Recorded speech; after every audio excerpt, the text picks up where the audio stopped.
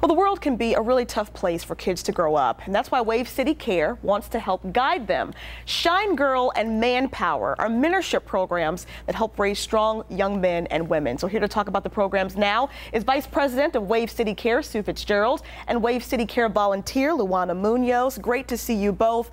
A wonderful program, wonderful organization you have here. Sue, I want to start with you. Sure. Tell us about what Wave City Care is. Okay.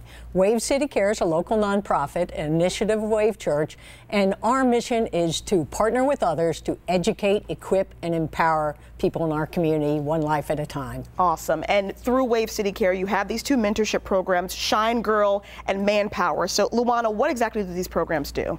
So, I'm a volunteer with Shine Girls, and I absolutely love it. I've been doing it for the past year now, and it's a wonderful program that helps encourage young ladies. We build their confidence, their self-esteem, and Ashley, you know exactly what it's like being a young teenage girl. Absolutely. That age range between fifth and eighth grade is a real awkward time for girls. Right. So having these mentors come into the schools, talking to the girls about let's build your confidence, let's build, you know, your value and your worth and what your purpose is. And that's really what Shine Girls is all about. So we do all kinds of um, activities every week for one hour. We go into a different school. My school this year was Azalea Garden Middle School, and I absolutely nice. loved it. Awesome. The girls were wonderful. You see them come in initially very shy, you know, kind yeah. of hiding. And so since yeah. TV is my thing, yeah. I make them get in front of the class, you know, stand with your backs awesome. arched and project your voice. And we just Fantastic. focus a lot on just building up who they are and encouraging them as young girls. And I'm sure Manpower does the same thing just yes. for young men. A little different. Lots of activities. exactly, just to keep Nerf them involved. cross Yeah, oh yeah, exactly. All the stuff that they enjoy doing, of course. Well, let's get to this 5K and 1K. These are happening next week, the fourth annual. Right. And yes. so you have a Glitter Dash 1K and a Shine 5K. So Sue, right.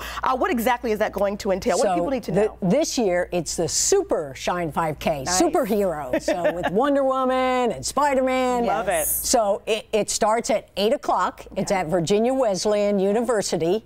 Uh, and it's just going to be a really fun day. And then 9:15 is our glitter dash, 1K glitter dash. Awesome. So we're just to support these awesome programs. We do these type things, and we're just inviting everybody to come out and help us and have a great time. Fantastic. Absolutely. Now, so, Luana, you oh. have to register in advance. Is that correct? Yes. So please go to shine5k.com. Register today if you can. If you're sitting at home wondering, you know, how can I get involved? I don't have the finances. Um, volunteer, help, give your time if you can't, or if you don't have the time donations are always a big deal. Our Absolutely. big goal and our big push this year is to raise $15,000. Okay. Just to run Shine Girls alone, we need over 20,000.